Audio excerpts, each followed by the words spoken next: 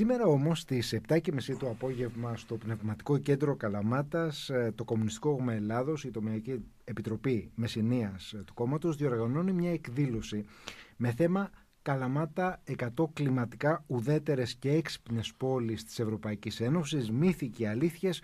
Ποιος πληρώνει, ποιος κερδίζει είναι ο υπότιτλος με κεντρικό ομιλητή τον Ευρωβουλευτή του ΚΚΕ, τον κύριο Λευτέρη ε, Νικολάου Αλαβάνο που φιλοξενούμε στη σημερινή μας εκπομπή. Καλώς ήρθατε και Νικολάου. Ε, Καλώς και σας βρήκα και τους δύο. Καλημέρα σε όσους μας ακούν. Και είναι και ιδιαίτερη χαρά μας που μάθαμε μόλις ότι είστε και καλαματιανός. Καταγωγή. Ναι. Αυτό κάτι που δεν το γνωρίζαμε. Για ναι, ναι, δεν το γνωρίζετε. Δικό μας λάθος είναι που δεν το γνωρίζετε. είναι πολύ βασικό. Δεν σας ψέγουμε. Ναι. Έτσι, εδώ και μάλιστα και γείτονας στο στούντιο. Από την περιοχή της Φυτιά. Ναι, ναι, ναι.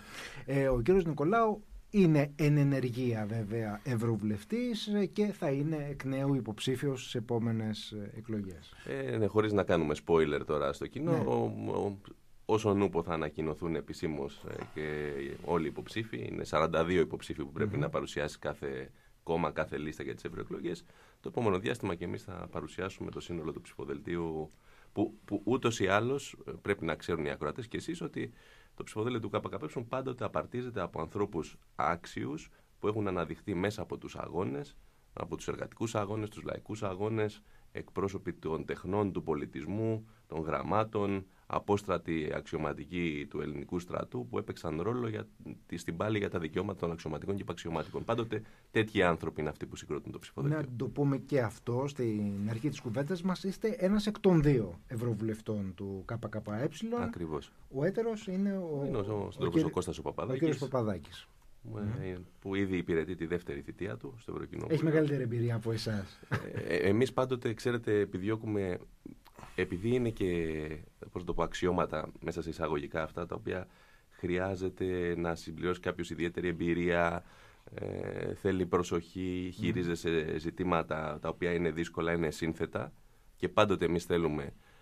Ε, το κριτήριο για μας είναι γρήγορα να ενημερώνουμε τον ελληνικό λαό για τις αρνητικές εξελίξεις που κυοφορούνται στην Ευρωπαϊκή Ένωση. Γιατί η Ευρωπαϊκή Ένωση κατά τη δική μας αντίληψη είναι ένας οργανισμός εχθρικός για τα λαϊκά συμφέροντα. Και αυτό φαίνεται παντού. Τρία στα κάτω παραδείγματα. Η κατάσταση που επικρατεί στα εργατικά ε, δικαιώματα σήμερα, δεκάωρη δουλειά χωρίς ε, πληρωμένες υπερορίες, δουλειά ω 13 ώρες σε παραπάνω από έναν εργοδότης. Αυτά καθορίζονται από ευρωπαϊκές οδηγίες. Mm-hmm. Ιδιωτικά πανεπιστήμια καθορίζονται γιατί υπάρχει ε, αγορά πτυχίων και αποφύτων με βάση τον Ευρωπαϊκό Χώρο Ανώτατης Εκπαίδευσης. Αγρότες που βγήκανε και εδώ και στη Μεσσηνία και σε όλη την Ελλάδα στα μπλόκα για την επιβίωσή τους, βάλανε στο στόχαστρο την κοινή αγροτική πολιτική της Ευρωπαϊκής Ένωσης που αυξάνει το κόστος παραγωγής και δίνει τη δυνατότητα στους μεσάζοντες και στα καρτέλ να κερδοσκοπούν ασύστολα στις πλάτες και των παραγωγών και των καταναλωτών.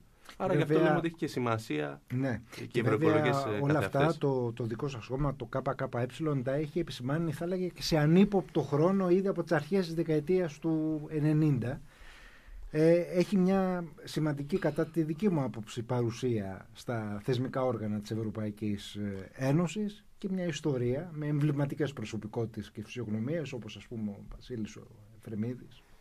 Ε, έτσι είναι. Εμείς πρέπει ο ελληνικός λαός να ξέρει ότι δεν είμαστε μάντις. Mm-hmm. Το κουκουέ δεν είναι ότι είναι κάποιες ιδιαίτερες yeah. μαντικέ ικανότητες. Απλά έχει μια διαχωριστική γραμμή για το πώς να κρίνει τα πράγματα. Ε, με βάση τα συμφέροντα των πολλών ή με βάση το κέρδος των λίγων. Η Ευρωπαϊκή Ένωση και από την εμπειρία νομίζω του λαού σε διάφορα ζητήματα κάθε φορά τάσσεται με το κέρδος των λίγων. Χαρακτηριστικότερο νομίζω παράδειγμα σήμερα και από την τρέχουσα πολιτική επικαιρότητα δεν μπορεί να είναι άλλο από τα τέμπη, το προδιαγεγραμμένο έγκλημα των τεμπών.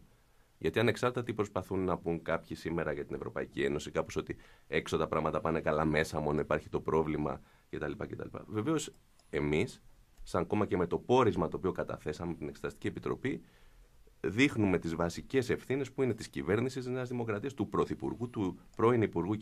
Καραμαλή, του Περιφερειάρχη και λέμε ότι πρέπει όλοι αυτοί μαζί και με τα στελέχη της επιχείρησης, όχι μόνο πολιτικά να τιμωρηθούν, αλλά και ποινικά, γιατί προκύπτουν συγκεκριμένες κακουργηματικές. Mm. Ε, κακουργηματικά στοιχεία σε βάρος τους. Και επειδή, θέσατε, ναι. συγγνώμη, επειδή θέσατε το, το ζήτημα των τεμπών και έχει ανοίξει ένας ε, μεγάλος διάλογος σε σχέση με την ευρωπαϊκή παρέμβαση σε σχέση με την εξέλιξή τους ε, ως, ως προς την απόδοση ευθυνών ή την δικαιοσύνη. Εσείς πώς το βλέπετε αυτό; Κοιτάξτε, ε, θέλω, θέλω να υπογραμμίσω το εξής. Η ίδια Ευρωπαϊκή Επιτροπή στην έκθεσή της για την κατάσταση των σιδηροδρόμων τοποθετεί το θέμα της ασφάλειας του σιδηρόδρομους της Ένωσης ως εξής ότι υπάρχουν κάποιες νησίδες ασφαλείας σε ολόκληρο το δίκτυο. Γιατί, Γιατί ξέρει και η ίδια η Επιτροπή ότι τα, ε, τα μέτρα ασφαλείας, αυτά το, το ERTMS και τα υπόλοιπα τα οποία συζητάμε από πέρυσι, υπάρχουν μόνο στο 7% ολόκληρου του δικτύου και στο 14% του κυρίως δικτύου. Και μάλιστα το Ευρωκοινοβούλιο, έκθεση μετά από κάθε έκθεση, τις οποίες εμείς καταψηφίσαμε, δίνει περισσότερο χρόνο στις, ε, στους διαχειριστές των γραμμών, τις ιδιωτικές εταιρείες, δηλαδή τους ομίλους που τις διαχειρίζονται, να πηγαίνουν όλο και παραπίσω την τοποθέτηση αυτών των μέτρων, μέχρι το 2050. Ήταν το 30, πήγε στο 40, έχει πάει στο 50 τώρα. Και μάλιστα λέει γιατί, γιατί το κάνουμε αυτό, γιατί από τη μία τα τρένα που κυκλοφορούν σήμερα οι σειρμοί σε όλη την Ευρωπαϊκή Ένωση είναι παλιάς τεχνολογίας, άρα δεν κουμπώνουν με τα σύγχρονα μέσα ασφαλείας. Και αν βάζαμε τα μέσα ασφαλείας στα σύγχρονα, θα έπρεπε να αλλάξουν στην Ελλάδα, για παράδειγμα, το 95% των σειρμών. Άρα είναι ένα μεγάλο κόστος, το οποίο δεν θέλουμε εμείς να υποχρεώσουμε τους διαχειριστές δικτύου να το πάρουν. Αυτό είναι σε γνώση της Ευρωπαϊκής Ένωσης, όπου έγιναν το 2022 περίπου 1.400 ατυχήματα με 630 νεκρούς.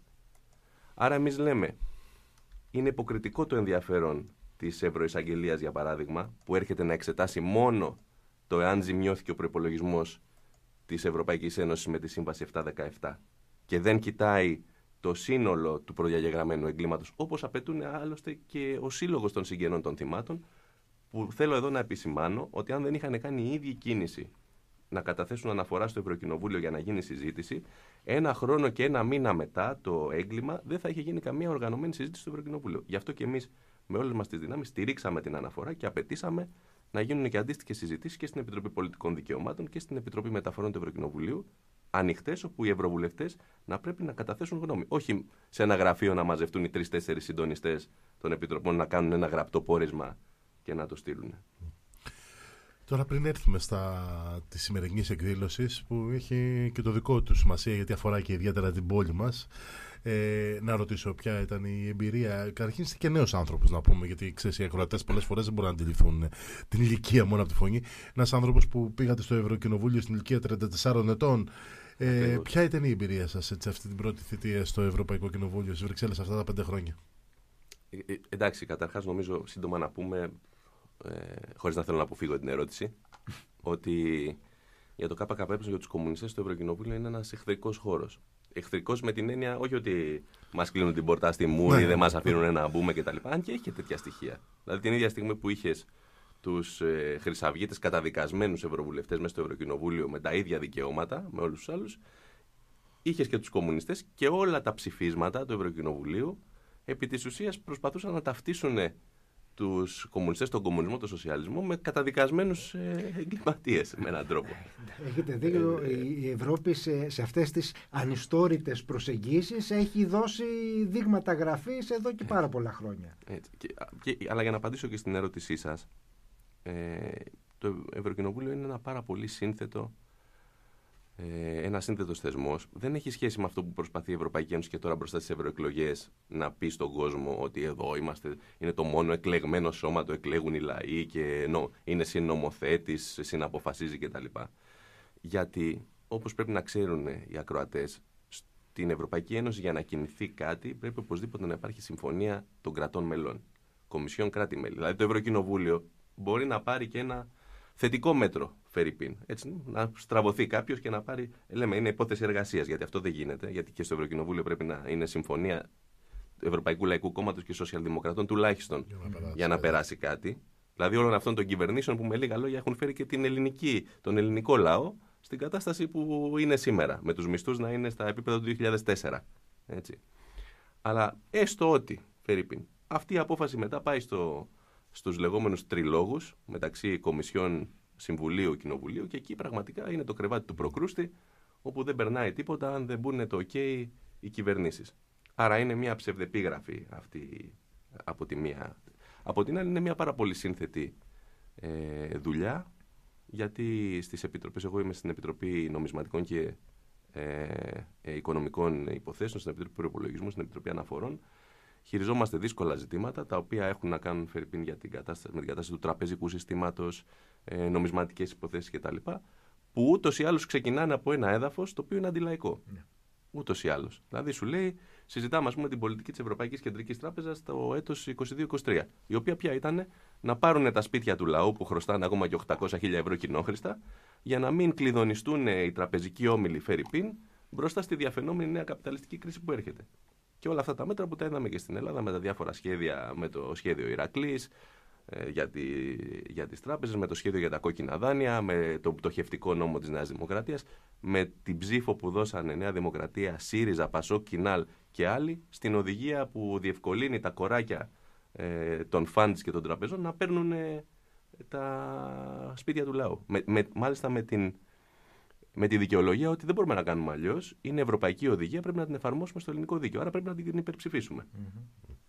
Βέβαια, τα, ο ελληνικός λαός τα έζησε όλα αυτά πολύ πιο έντονα και βάναυστα και καταιγιστικά τα χρόνια των μνημονίων. Έτσι. Το, δεν χρειάζεται νομίζω ανάλυση ιδιαίτερη σε αυτό. Ε, όχι, εντάξει. Ναι. Και, και από εδώ, αν θέλετε, κύριε Ποτέα, βγαίνει κι άλλο ένα συμπέρασμα.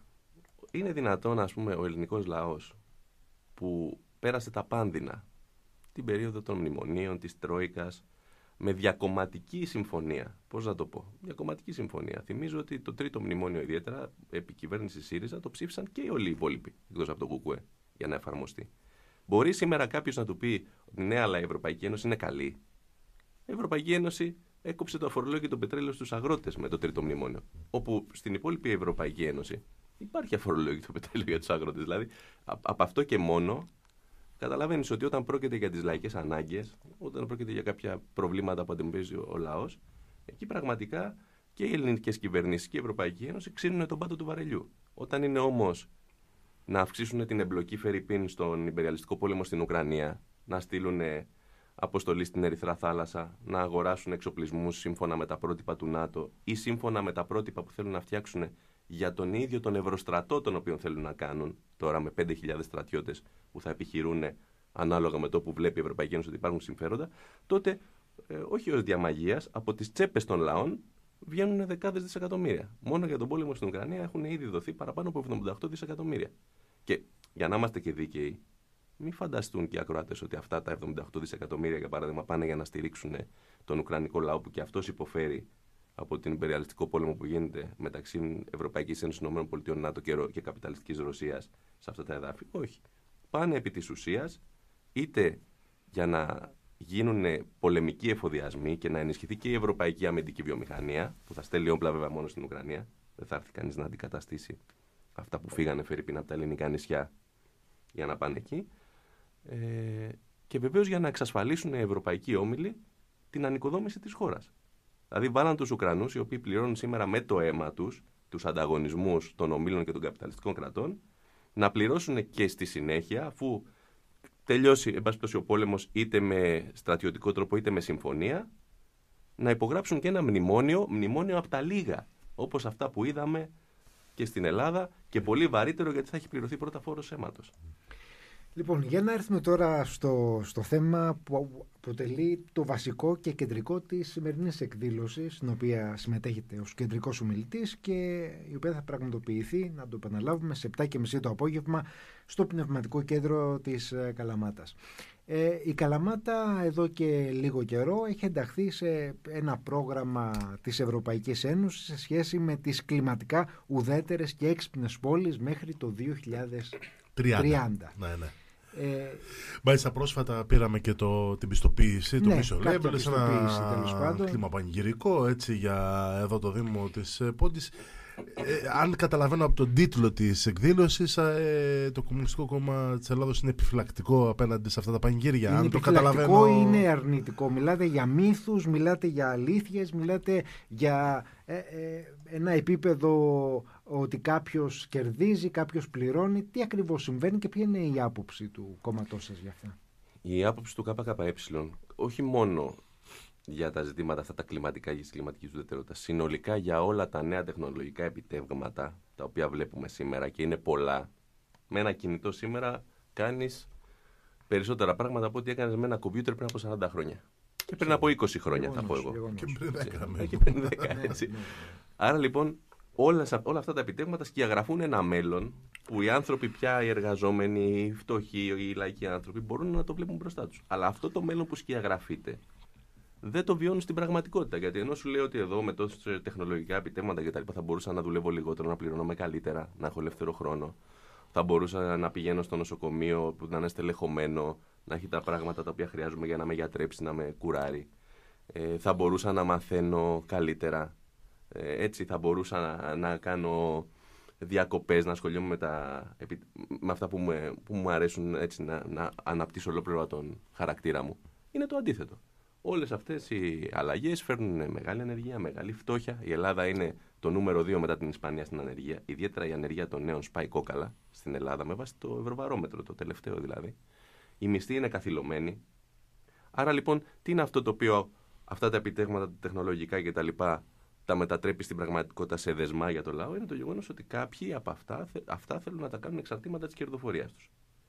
Χαρακτηριστικό παράδειγμα σε όλα αυτά που λέει και το, το σχέδιο για τις κλιματικά ουδέτερες πόλεις είναι μια σειρά από προσαρμογές που θέλουν να κάνουν στα κτίρια, φέρει πίντα ενεργειακής απόδοσης, πράσινες προδιαγραφές, ε, ηλεκτροκίνηση ε, και, και μια σειρά τέτοια ζητήματα. Τα οποία όμως με βάση τις ευρωπαϊκές οδηγίες πάνω στις οποίες πατάνε αυτά τα σχέδια έχουν συγκεκριμένες προδιαγραφές. Φερρυπίν.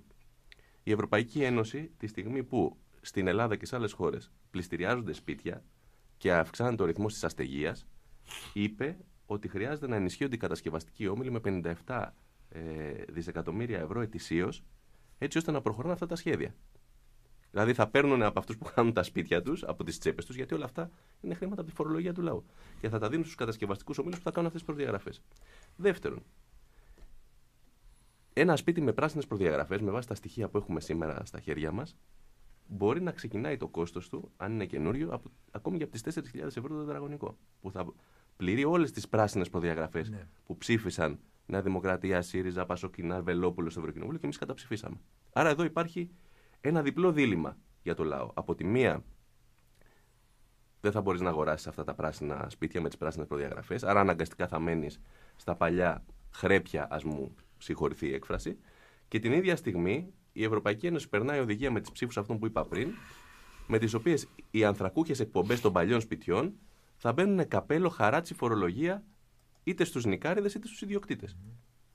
Όσο για τα ηλεκτρικά αυτοκίνητα, Σήμερα, μια οικογένεια δεν μπορεί να συντηρήσει ένα παλιό συμβατικό αυτοκίνητο. Κάθε μήνα κάνουμε όλοι μας μια. Κάνουμε έναν υπολογισμό και λέμε τι θα πληρώσω αυτό το μήνα; Θα πληρώσω το νίκη ή θα πληρώσω το ρεύμα ή θα πληρώσω τις υπόλοιπες οφειλές; Άρα λοιπόν το να λέει με βάση το mission label και τα λοιπά ότι μέχρι το 2030 δεν θα κυκλοφορούν αυτοκίνητα αλλά μόνο ηλεκτρικά ας πούμε στο κέντρο της Καλαμάτας και στις άλλες πόλεις. Τι σημαίνει, επί της ουσίας σημαίνει ότι θα αναγκάσω εγώ ή θα, ή θα βάλω και άλλα πρόστιμα σε εκείνους τους φτωχούς ανθρώπους, τους εργαζόμενους, τις λαϊκές οικογένειες που δεν μπορούν να τα αγοράσουν, ή θα πρέπει να πάει να πληρώσεις όσες δεκάδες χιλιάδες ευρώ κοστίζει ένα ηλεκτρικό αυτοκίνητο, ταυτόχρονα σπρώχνοντας και τις εταιρείες των ηλεκτρικών αυτοκινήτων, που είναι ένας από τους κλάδους που σήμερα διεξάγεται πολύ σφοδρός ανταγωνισμός μεταξύ ευρωπαϊκών εταιριών ομίλων και κινέζικων, οι οποίοι κυριαρχούν στην αγορά. Και βέβαια το τελευταίο για μας, το οποίο αν θέλετε είναι και εξόφθαλμο, βγάζει πραγματικά μάτι, είναι με συνολικά το θέμα του καθαρότερου αέρα που λέει ότι με όλα αυτά θα οδηγήσουν σε μειωμένους ρήπους κτλ. Άρα θα αναπνέουμε καθαρότερο αέρα. Την ίδια στιγμή που μιλάει η Ευρωπαϊκή Ένωση και οι ελληνικές κυβερνήσεις για αυτά τις κλιματικές ουδέτερες πόλεις, κλιμακώνεται το σχέδιο και στην Ελλάδα για παραγωγή ηλεκτρικής ενέργειας από καύση σκουπιδιών. Ήδη υπάρχουν στο Βόλο, το, η τσιμεντοβιομηχανία της ΑΓΕΤ, Υπάρχει σχέδιο με βάση το, το Εθνικό Σχέδιο Διαχείρισης Απορριμμάτων για 17 μονάδες σε όλη την Ελλάδα επεξεργασίας απορριμμάτων που θα παράγουν τα υπολείμματα αυτά που είναι πια αποδεδειγμένο επιστημονικά ότι η καύση τους είναι καρκινογόνα και δημιουργεί πάρα πολλά προβλήματα για το περιβάλλον και για τον άνθρωπο και θα φτιάξουν. Αυτά όλα θα διαχέονται σε όλη τη χώρα σε δεκάδες τέτοιες μονάδες οι οποίες θα καίνε απορρίμματα για ηλεκτρική ενέργεια. Είναι το πιο εξόφθαλμο παράδειγμα. Δηλαδή, εντάξει, ναι, οι καλάματα και εμείς θέλουμε οι πόλεις να είναι καθαρές, ο, ο, ο λαός να ζει καλά, να μην δημιουργούνται προβλήματα. Ιδιαίτερα, ας πούμε, σε περιοχές όπως η Καλαμάτα, παραπλεύρωση Μεγαλόπολης που αναπνέανε όλα αυτά τα χρόνια τις εκπομπές ε, του Λιγνίτη και όλα αυτά. Αλλά την ίδια στιγμή τι σου λένε, εντάξει, δεν πειράζει, ας αναπνέετε καλά στην Καλαμάτα, αλλά 200 χιλιόμετρα παραπάνω μπορεί να καίγονται σκουπίδια για να παράγει ηλεκτρική ενέργεια. Για να μην χάνει κανείς, να κερδίζουν από τις ανακατασκευές και τα πράσινα σχέδια και οι κατασκευαστικοί όμιλοι, να κερδίζουν από την καύση απορριμμάτων και υπολοιμμάτων και οι όμιλοι της ενέργειας. Μην είναι κανείς παραπονεμένος. Mm. Μόνος παραπονεμένος θα είναι αυτός που πληρώνει, γιατί αυτές οι χρηματοδοτήσεις έρχονται από το Ταμείο Ανάκαμψης και Ανθεκτικότητας της Ευρωπαϊκής Ένωσης, το οποίο το πληρώνουν οι λαοί από τη φορολογία τους. Δηλαδή, πληρώνουν οι λαοί από τη φορολογία τους 768 δις, από τα οποία τα 600 πάνε στους λεγόμενους πράσινους και ψηφιακούς ομίλους. Και από την άλλη θα, θα έχεις να, να πληρώνεις και τα αποτελέσματα όλων αυτών και με την υγεία σου και με την ίδια σου τη ζωή πολλές φορές. Γιατί πουθενά σε όλο αυτό το σχέδιο δεν συμπεριλαμβάνονται αναγκαίες και κρίσιμες υποδομές. Τώρα το λέγατε και στην αρχή της εκπομπής, αντισυσμική θωράκιση, ιδιαίτερα σε μια περιοχή όπως είναι η Καλαμάτα. Ναι. Χαρτολογώντας, εγώ έλεγα εδώ στους παρουσιαστές πριν που είμαι στον αέρα ότι εγώ θυμάμαι το πατρικό σπίτι του πατέρα μου, το οποίο έπεσε στο, στο σημείο της Καλαμάτας και πώς να πω, ερχόμασταν στην Καλαμάτα και ήταν δύο καμαράκια, μία εξωτερική τουαλέτα και είχαμε βάλει και ένα λιώμενο δύο δωμάτια. Και μέσα σε αυτά μένανε 10-11 δύο οικογένειες άνθρωποι κάθε φορά που ερχόμασταν να επισκεφτούμε την πόλη μας, ας πούμε. Λέω όλα αυτά, ή αντιπλημμυρικά, ε, τα, τα αναγκαία, τα βιώσατε τα, τα προηγούμενα χρόνια. Έτσι. Άρα λοιπόν έτσι τοποθετούμαστε εμείς. Ότι πρέπει να φύγει από τη μέση, από αυτή της εξίσωσης το καπιταλιστικό κέρδος, η κερδοφορία των ομήλων, για να μπορέσουν να αξιοποιηθούν όλες οι νέες τεχνολογίες και τα επιτέγματα προς όφελος του λαού. Αυτό πώς μπορεί να γίνει, πώς μπορεί να, να ξεπεραστεί ας πούμε αυτή η διάχυτη νοοτροπία και σε επίπεδο τοπικής αυτοδιοίκησης αν θέλετε ότι πρέπει να προωθήσουμε κάποια συμφέροντα επιχειρηματικά τα οποία εν πολλής παρουσιάζονται βέβαια ως συμφέροντα του απλού λαού, του απλού κόσμου, των πολιτών της κάθε πόλης. Δηλαδή, στην προκειμένη περίπτωση, σε σχέση με αυτό το πρόγραμμα των κλιματικών ουδέτερων πόλεων, η Δημοτική Αρχή της Καλαμάτας, που το έχει ανεβάσει πάρα πολύ ως πάρα πολύ μεγάλη επιτυχία της πόλης, ε, συνδυάζει το γεγονός αυτό της πράσινης ανάπτυξης ή της φιλοπεριβαλλοντικής ε, πολιτικής με μια σειρά άλλων παρεμβάσεων όπως αστικές αναπλάσεις, δρόμοι καλύτεροι, πλατείες κτλ. Πώς μπορεί να απαντηθεί αυτό; Πρώτα απ' όλα πρέπει να δούμε και το, το, το μοντέλο το διαχειριστικό το οποίο προτείνεται. Στο οποίο αυτά τα μοντέλα και από το γεγονός ότι είναι με ευρωπαϊκές χρηματοδοτήσεις δηλαδή λεφτά του λαού που τα δίνουμε στην Ευρωπαϊκή Ένωση και μας τα επιστρέφει κλειδωμένα για συγκεκριμένες χρήσεις, χρειάζεται να εντάσσονται μέσα σε αυτό ήδη στην, στην, στην περίοδο της υλοποίησης μεγάλη κατασκευαστική όμιλη και εταιρείες. Μέσως ΣΔΙΤ γίνονται αυτά. Συμπράξεις δημοσίου και ιδιωτικού τομέα. Η, η ΜΚΟ κτλ.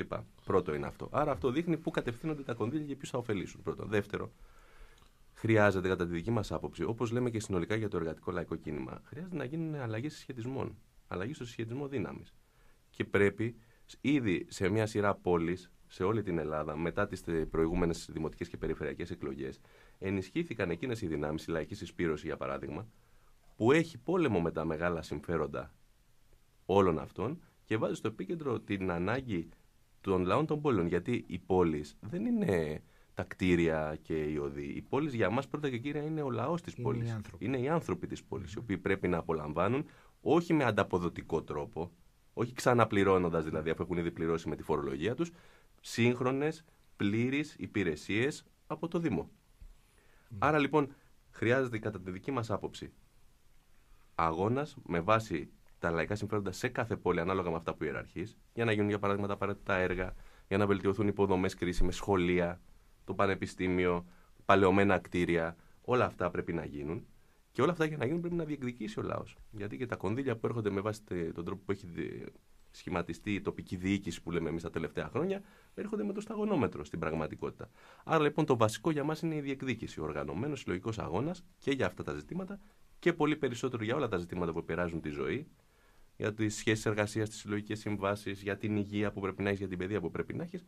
Πράγματα που θα κορυφωθούν, αν θέλετε, και στην απεργία στις 17 του Απριλίου, ε, που έρχεται στον απόϊχο της μεγάλης απεργίας της 28 Φλεβάρη, το ένα έτος από, τα, από το ατύχημα των τεμπών, που εκτός από την δικαίωση και τη διαλέμκαση και το τέρμα στη συγκάλυψη, απέτησε και τα σύγχρονα δικαιώματα, συλλογικές συμβάσεις εργασίας, αυξήσεις του μισθούς συντάξεις για να μπορεί να καλύψει και το τεράστιο κόστος ζωής, ε, την ακρίβεια, τον πληθωρισμό, που βεβαίως θα αυξηθεί και στην Καλαμάτα και με τα μέτρα αυτά. Γιατί όταν αυξηθούν οι αντικειμενικές αξίες. Ήδη, ήδη Ε; υπάρχει τεράστιο πρόβλημα. Λέω, Μεγάλο το πρόβλημα. Κατά, και εμένα μου το λένε εδώ οι σύντροφοι φίλοι, ότι τι να πιάσεις, επειδή εγώ μένω στο κέντρο της Αθήνας, τι να πάει να πιάσεις διάρρη ε, στη, στο, στο Παγκράτη, τι να έρθει να πιάσεις διάρρη ε, στη Φαρόν, είναι ένα και το Πραγματικά. αυτό, ας πούμε. Έτσι Πραγματικά. είναι τα πράγματα. Ε, να κλείσουμε, κύριε Λαβάνο, ε, κύριε Νικολάου, συγγνώμη, χρησιμοποιείτε και τα δύο, μπερδεύομαι με το επώνυμο. Ναι, Νι- Νικολάου. Νικολάου, Νικολάου, Νικολάου, ναι, ωραία, Νικολάου ωραία. Λαβάνος, ό,τι θέλεις. Ε, να κλείσουμε κύριε Νικολάου λέγοντας στους ακροατές μας τους λόγους που γιατί να ψηφίσουν πάλι το ΚΚΕ στις επικείμενες ευρωεκλογές της 9ης, 9ης Ένα- Ιουνίου. Νομίζω ότι όποιος παρακολουθεί λίγο στοιχειοδός την επικαιρότητα θα βγάλει το συμπέρασμα ότι ανεξάρτητα από όλους αυτούς που λένε ότι δεν υπάρχει αντιπολίτευση, δεν γίνεται τίποτα σε αυτή τη χώρα, υπάρχει στη χώρα αντιπολίτευση. Αυτή την ασκεί με συνέχεια και συνέπεια το ΚΚΕ. Σε όλους τους μεγάλους αγώνες συνεργάζονται κομμουνιστές ή πρωτοστατούν κομμουνιστές για να γίνουν. Σε όλες τις μεγάλες κατακτήσεις που είχαμε, είτε συλλογικές συμβάσεις, βελτιώσεις μισθών σε κλάδους, δείτε τον αγώνα των εργαζομένων της ΛΑΡΚΟ που είναι στο επίκεντρο ξανά αυτή τη γη. Δείτε το ζήτημα των μεγάλων κινητοποιήσεων όπου έγιναν για τα τέμπη, όπου όλοι μας φωνάξαμε ή τα κέρδη τους ή οι ζωές μας.